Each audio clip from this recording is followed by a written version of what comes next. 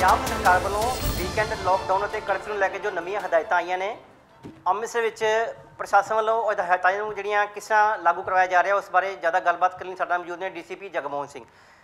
DCP ਸਾਹਿਬ, ਜਿਹੜੀਆਂ ਹਦਾਇਤਾਂ ਆਈਆਂ ਨੇ, ਉਸ ਨੂੰ ਕਿਸ ਤਰ੍ਹਾਂ ਲਾਗੂ ਕਰਵਾਇਆ ਜਾ ਰਿਹਾ?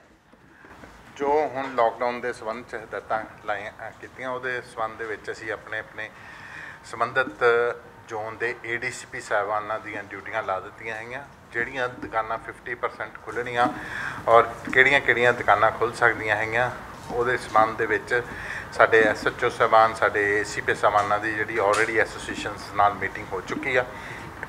ਕਈ ਜਗ੍ਹਾ ਤੇ ਅਸੀਂ ਲੈਫਟ ਰਾਈਟ ਦੇ ਹਿਸਾਬ ਨਾਲ ਦੁਕਾਨਾਂ ਖੁਲਵਾ ਰਹੇ ਹਾਂ ਕਈ ਜਗ੍ਹਾ ਤੇ ਅਸੀਂ ਏ ਬੀ ਜਿਹੜਾ ਹੈਗਾ ਮਾਰਕ ਕੀਤਾ ਹੈਗਾ, ਉਸ ਹਿਸਾਬ ਨਾਲ 50% ਜਿਹੜੀਆਂ ਸ਼ਾਪਸ ਹੈਗੀਆਂ, ਉਹ ਖੁੱਲ੍ਹ ਖੁੱਲੀਆਂ ਜਾ ਰਹੀਆਂ। ਸਰ, ਸ਼ਹਿਰ ਨੂੰ ਕਿੰਨੀ ਜ਼ੋਨਾਂ ਵਿੱਚ ਵੰਡਿਆ ਗਿਆ ਜੀ? ਆਲਰੇਡੀ ਸ਼ਹਿਰ ਤਿੰਨ ਜ਼ੋਨ ਦੇ ਵਿੱਚ ਵੰਡਿਆ ਹੋਇਆ। ਤਿੰਨਾਂ ਜ਼ੋਨ ਦੇ ਵਿੱਚ ਸਾਡੇ ਐਸਪੀ ਸਾਹਿਬਾਨ ਜਿਹੜੇ ਹੈਗੇ ਆ, ਉਹਨਾਂ ਦੇ ਇੰਚਾਰਜ ਹੈਗੇ ਆ। ਔਰ ਤਿੰਨਾਂ ਜ਼ੋਨਾਂ ਦੇ ਵਿੱਚ ਜਿਹੜਾ ਹੈਗਾ ਅਸੀਂ ਗਵਰਨਮੈਂਟ ਦੀਆਂ ਨਵੀਆਂ ਹਦਾਇਤਾਂ ਨੂੰ ਜਿਹੜਾ ਹੈਗਾ ਇਨ ਬਿਨ ਜਿਹੜਾ ਲਾਗੂ ਕਰਵਾਵਾਂਗੇ। ਸਰ ਅਜੇ ਵੀ ਦੁਕਾਨਦਾਰਾਂ 'ਚ ਕਨਫਿਊਜ਼ਨ ਬਰਕਰਾਰ ਹੈ। ਦੁਕਾਨਦਾਰਾਂ ਨੂੰ ਇਹ ਨਹੀਂ ਪਤਾ ਅਸੀਂ ਖੱਬੇ ਆ ਕਿ ਸੱਜੇ ਆ ਤੇ ਉਸ ਦੇ ਬਾਰੇ ਕਨਫਿਊਜ਼ਨ ਜਿਹੜੀ ਹੈ ਹੁਣ ਕੱਲ ਸੋਮਵਾਰ ਦੁਕਾਨਾਂ ਖੁੱਲਣੀਆਂ ਮੈਂ ਤੇ ਉਹ ਕਨਫਿਊਜ਼ਨ ਕਿਸ ਤਰ੍ਹਾਂ ਦੂਰ ਹੋਏਗੀ। ਆਲਰੇਡੀ ਐਸੋਸੀਏਸ਼ਨਸ ਦੇ ਜਿਹੜੇ ਮੈਂਬਰਸ ਹੈਗੇ ਸਾਨੂੰ ਮਿਲ ਵੀ ਚੁੱਕੇ ਆ, ਅਲੱਗ-ਅਲੱਗ ਐਸੋਸੀਏਸ਼ਨਸ ਦੇ। ਉਹਨਾਂ ਨੇ ਖੁਦ ਹੀ ਐਸੋਸੀਏਸ਼ਨਸ ਨੇ ਜਾਂ ਜਿਹੜੇ ਉਸ ਮਾਰਕੀਟ ਦੇ ਪ੍ਰਧਾਨ ਹੈਗੇ ਆ, ਉਹਨਾਂ ਨੇ ਡਿਸਾਈਡ ਕਰ ਲੈਣਾ ਕਿ ਲੈਫਟ ਤੇ ਰਾਈਟ ਬਾਕੀ ਅਸੀਂ ਆਲਰੇਡੀ ਪਹਿਲਾਂ ਵੀ ਲਾਕਡਾਊਨ ਦੇ ਦੌਰਾਨ ਅਸੀਂ ਮਾਰਕ ਕੀਤਾ ਸੀ ਏ ਬੀ ਅਸੀਂ ਉਸੇ ਹਿਸਾਬ ਨਾਲ ਜਿਹੜੇ ਆਲਰੇਡੀ ਸਾਡੇ ਉੱਥੇ ਮਾਰਕ ਕੀਤੀਆਂ ਹੋਈਆਂ ਦੁਕਾਨਾਂ, ਉਸ ਹਿਸਾਬ ਨਾਲ ਜਿਹੜੀਆਂ 50% ਅਸੀਂ ਜਿਹੜੀਆਂ ਸ਼ਾਪਸ ਆ, ਅਸੀਂ ਉਹਨਾਂ ਨੂੰ ਅਲਾਉ ਕਰਾਂਗੇ। ਤੁਸੀਂ ਸਰ ਹਫ਼ਤੇ ਵਿੱਚ 5 ਦਿਨ ਬਾਜ਼ਾਰ ਖੁੱਲ੍ਹਣੇ ਆ। ਸੋਮਵਾਰ ਤੋਂ ਲੈ ਕੇ ਸ਼ੁੱਕਰਵਾਰ ਤੱਕ ਲੈਫਟ ਰਾਈਟ ਦਾ ਤੁਸੀਂ ਫਾਰਮੂਲਾ ਤੁਸੀਂ ਦੇ ਰਹੇ ਹੋ। ਜਿਹਦੀ ਦੁਕਾਨ ਹਫ਼ਤੇ ਵਿੱਚ 2 ਦਿਨ ਖੁੱਲੇਗੀ ਕਿਸੇ ਦੀ 3 ਦਿਨ ਖੁੱਲੇਗੀ ਜਿਹੜਾ 2 ਦਿਨ ਦੁਕਾਨ ਖੋਲੇਗਾ ਉਸ ਨੂੰ ਦਿੱਕਤ ਆਏਗੀ, ਉਹ ਵੀ ਹਫ਼ਤੇ ਵਿੱਚ 2 ਦਿਨ ਦੁਕਾਨ ਉਹਦੀ ਖੁੱਲਣੀ ਹੈ। ਉਸ ਦੇ ਬਾਰੇ ਅਗਲੇ ਹਫ਼ਤੇ ਵਿੱਚ ਕੋਈ ਹੋਰ ਰਿਲੈਕਸੇਸ਼ਨ ਦਿੱਤੀ ਜਾਏਗੀ? ਨਹੀਂ ਨਹੀਂ, ਉਹਦੇ ਚ ਕੋਈ ਨਹੀਂ। ਜਿਸ ਵਿਅਕਤੀ ਦੀ ਦੁਕਾਨ ਫਰਾਈਡੇ ਖੁੱਲਦੀ ਆ ਮੰਡੇ ਨੂੰ ਜਿਸ ਦੀ ਥਰਸਡੇ ਖੁੱਲੀ ਹੈ ਉਸ ਦੀ ਮੰਡੇ ਨੂੰ ਖੁੱਲੇਗੀ ਉਹ ਸਾਰਾ ਬੈਲੈਂਸ ਹੋ ਜਾਏਗਾ। ਇਸ ਦੇ ਬਾਰੇ ਕੋਈ ਲਿਖਤ ਸਰ, ਕੋਈ ਜਾਣਕਾਰੀ ਜਿਹੜੀ ਉਹ ਜਾਰੀ ਕੀਤੀ ਗਈ?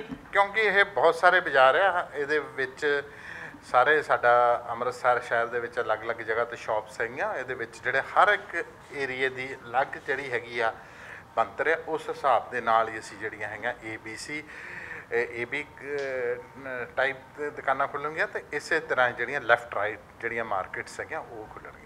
ਦੁਕਾਨਦਾਰਾਂ ਨੂੰ ਕੀ ਅਪੀਲ ਕਰਨਾ ਚਾਹੁੰਦੇ ਹੋ ਜੀ? ਕਿਉਂਕਿ ਦੁਬਾਰਾ ਫਿਰ ਮੁੜ ਤੋਂ ਅਸੀਂ ਉਸੇ ਵਾਲੇ ਪਾਸੇ ਜਾ ਰਹੇ ਹਾਂ ਲੋਕ ਵਾਲ- ਲੋਕਡਾਊਨ ਵਾਲੇ ਪਾਸੇ ਜਾ ਰਹੇ ਹਾਂ, ਕਿਉਂਕਿ ਨਹੀਂ ਤਾਂ ਬਿਲਕੁਲ ਰਿਲੈਕਸੇਸ਼ਨ ਮਿਲ ਗਈ ਸੀ ਸਰਕਾਰ ਵੱਲੋਂ। ਤੇ ਦੁਕਾਨਦਾਰਾਂ ਨੂੰ ਕੀ ਅਪੀਲ? ਮੈਂ ਦੁਕਾਨਦਾਰਾਂ ਨੂੰ ਇਹ ਅਪੀਲ ਕਰਨੀ ਚਾਹੁੰਦਾ ਕਿ ਸਰਕਾਰ ਵੱਲੋਂ ਜੋ ਹਦਾਇਤਾਂ ਦਿੱਤੀਆਂ ਗਈਆਂ ਹੈਗੀਆਂ ਸਾਨੂੰ ਸਾਰਿਆਂ ਨੂੰ ਉਹਦੀ ਪਾਲਣਾ ਕਰਨੀ ਚਾਹੀਦੀ ਆ। ਸਾਨੂੰ ਆਪਣੀ ਜਿਹੜੀ ਸ਼ਾਪਸ ਹੈਗੀਆਂ, ਉਹਦੇ ਤੇ ਇੱਕ ਬਾਹਰ ਮਾਰਕ ਲੱਗੇ ਹੋਣੇ ਚਾਹੀਦੇ, ਤਾਂ ਜੋ ਜਿਹੜਾ ਹੈਗਾ ਕੋਈ ਵੀ ਵਿਅਕਤੀ ਜਿਹੜਾ ਉਹ 6 ਫੁੱਟ ਦੀ ਦੂਰੀ ਦੇ ਵਿੱਚ ਜਿਹੜਾ ਉਹਨਾਂ ਦਾ ਜਿਹੜਾ ਕਸਟਮਰ ਆ, ਉਹ ਹੋਵੇ, ਤਾਂ ਜੋ ਇੱਕ ਦੂਜੇ ਦੇ ਨਾਲ ਨਾ ਟੱਚ ਕਰਨ। ਜਿਹੜਾ ਵੀ ਕੋਈ ਗਾਹਕ ਆਉਂਦਾ, ਉਹਦੇ ਮਾਸਕ ਪਹਿਨਣਾ ਜ਼ਰੂਰੀ ਆ।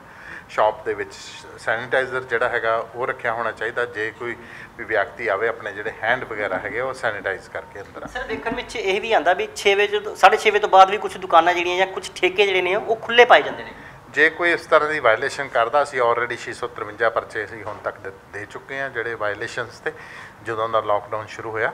ਜੇ ਕੋਈ ਇਸ ਤਰ੍ਹਾਂ ਦੀ ਕਾਰਵਾਈ ਕਰੇਗਾ, ਅਸੀਂ ਉਹਦੇ ਖਿਲਾਫ ਜਿਹੜਾ ਪੁਖਤਾ ਐਕਸ਼ਨ ਲਿਆ ਜਾਏਗਾ। ਭੀੜ। ਜੋ ਕਿ ਸਭ ਨਾਲ ਵੱਡੀ ਜ਼ਿੰਮੇਵਾਰੀ ਲੋਕਾਂ ਦੀ ਭੀੜ ਇਕੱਠੀ ਕਰ ਲੈਂਦੇ ਨੇ ਦੁਕਾਨਦਾਰ। ਪਹਿਲਾਂ ਵੀ ਪ੍ਰਸ਼ਾਸਨ ਨੇ ਬੜੀ ਵਾਰੀ ਸਖਤ ਹਦਾਇਤ ਦਿੱਤੀ ਸੀ ਸਾਫ਼ ਸਪਸ਼ਟ ਹਦਾਇਤ ਦਿੱਤੀ ਸੀ ਵੀ ਭੀੜ ਜਿਹੜੀ ਆ ਉਹ ਇਕੱਠੀ ਨਾ ਕਰੋ। ਪਰ ਉਸ ਦੇ ਬਾਵਜੂਦ ਜਦੋਂ ਜਦੋਂ ਪ੍ਰਸ਼ਾਸਨ ਨੇ ਨਰਵੀਂ ਅ, ਰੁਖ ਅਪਣਾਉਣਾ ਸ਼ੁਰੂ ਕੀਤਾ ਤਾਂ ਲੋਕਾਂ ਨੇ ਭੀੜ ਕਰਨੀ ਸ਼ੁਰੂ ਕਰਤੀ। ਦੁਕਾਨਦਾਰਾਂ ਨੇ ਆਪਣੀ ਸਿਰਫ ਗਾਹਕੀ ਦੇਖੀ ਆ ਤੇ ਉਸ ਤੋਂ ਬਾਅਦ ਇਹ ਫਿਰ ਜਿਹੜਾ ਲੋਕਡਾਊਨ ਦੀ ਸਿਚੁਏਸ਼ਨ ਬਣ ਚੁੱਕੀ ਹੈ ਜੇ ਕੋਈ ਇਸ ਤਰ੍ਹਾਂ ਭੀੜ ਇਕੱਠੀ ਕਰੇਗਾ ਅਸੀਂ ਉਹਦੇ ਖਿਲਾਫ ਪਹਿਲਾਂ ਵੀ ਅਸੀਂ ਐਕਸ਼ਨ ਲਏ। ਮੈਂ ਦੱਸਿਆ ਵੀ ਜੇ ਕੋਈ ਸੋਸ਼ਲ ਡਿਸਟੈਂਸਿੰਗ ਮੇਨਟੇਨ ਨਹੀਂ ਕਰੇਗਾ ਉਹਦੇ ਖਿਲਾਫ ਬੰਦੀ ਕਾਰਵਾਈ ਕੀਤੀ ਦੁਕਾਨਦਾਰਾਂ ਨੂੰ ਸਾਨੂੰ ਸਖਤ ਹਦਾਇਤਾਂ ਦਿੱਤੀਆਂ ਗਈਆਂ ਇਸ ਵਿੱਚ? ਬਿਲਕੁਲ ਜੀ ਅਸੀਂ ਜਿਹੜਾ ਪ੍ਰਸ਼ਾਸਨ ਨੇ ਆਲਰੇਡੀ ਮੈਂ ਦੱਸਿਆ ਕਿ ਜੇ ਕੋਈ ਵਾਇਲੇਸ਼ਨ ਕਰਦਾ ਉਹਦੇ ਖਿਲਾਫ ਕਾਨੂੰਨੀ ਕਾਰਵਾਈ ਕੀਤੀ ਜਾਵੇਗੀ। ਇਹ ਸਨ ਡੀਸੀਪੀ ਜਗਮੋਹਨ ਸਿੰਘ ਜਿਨ੍ਹਾਂ ਨੇ ਦੱਸਿਆ ਵੀ ਅੰਮ੍ਰਿਤਸਰ ਵਿੱਚ ਜੋ ਵੀ ਪ੍ਰਕਿਰਿਆ ਹੁਣ ਨਵੀਆਂ ਜਿਹੜੀਆਂ ਹਦਾਇਤਾਂ ਦਿੱਤੀਆਂ ਗਈਆਂ ਉਸ ਸੰਬੰਧ ਵਿੱਚ ਹਫ਼ਤੇ ਵਿੱਚ 5 ਦਿਨ ਜਿਹੜੇ ਦੁਕਾਨਾਂ ਖੁੱਲੀਆਂ ਨੇ ਉਹ ਲੈਫਟ ਰਾਈਟ ਦੇ ਫਾਰਮੂਲੇ ਨਾਲ ਉਹ ਕਿਤੇ ਜੇ ਹੋ ਸਕਿਆ ਤਾਂ ਇਹ ਵੀ ਕੈਟਾਗਰੀ ਦੇ ਹਿਸਾਬ ਨਾਲ ਹੀ ਖੁੱਲਣਗੇ ਔਰ ਉਹਨਾਂ ਨੇ ਦੁਕਾਨਦਾਰਾਂ ਨੂੰ ਸਖਤ ਤਾੜਨਾ ਕੀਤੀ ਹੈ। ਜਿੰਨੀਆਂ ਵੀ ਹਿਦਾਇਤਾਂ ਨੇ, ਉਹ ਉਹਨਾਂ ਹਿਦਾਇਤਾਂ ਦੀ ਪਾਲਣਾ ਕਰਨ, ਨਹੀਂ ਤਾਂ ਉਹਨਾਂ ਤੇ ਵੀ ਸਖਤ ਕਾਰਵਾਈ ਆਉਣ ਵਾਲੇ ਦਿਨਾਂ ਵਿੱਚ ਹੋ ਸਕਦੀ ਹੈ। ਤੁਹਾਨੂੰ ਦੱਸ ਦਈਏ, ਅੰਮ੍ਰਿਤਸਰ ਵਿੱਚ ਲਗਾਤਾਰ ਕਰੋਨਾ ਵਾਇਰਸ ਦਾ ਖਤਰਾ ਜਿਹੜਾ ਵਧਦਾ ਜਾ ਰਿਹਾ।